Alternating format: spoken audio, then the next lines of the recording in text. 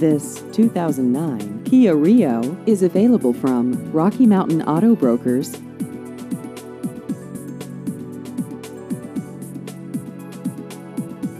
This vehicle has just over 20,000 miles.